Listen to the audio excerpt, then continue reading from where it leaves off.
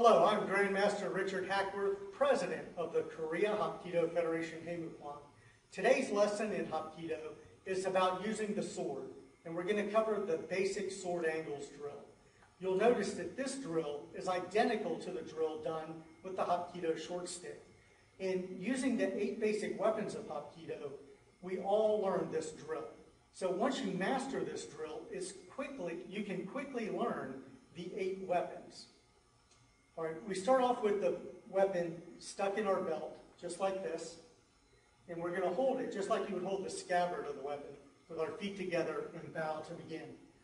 As we grab the weapon to start, we reach across, grab the handle as we step our right foot out. And then as we draw the sword and step forward into our stance, our sword comes out.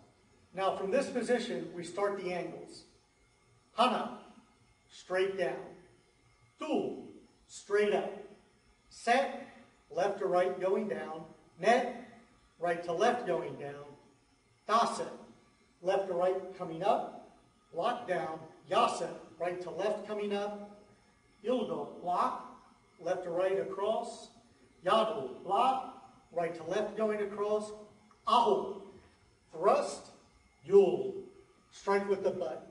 You're going to return to this position, and you're going to step your right foot back as you clear the blade, bring it back, and as you sheath your weapon, you bring your feet together and then bow. This is what the drill will look like at regular practice speed.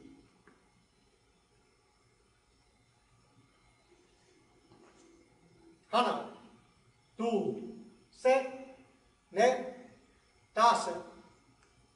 yasa, ilgo, yadu, aho, yul.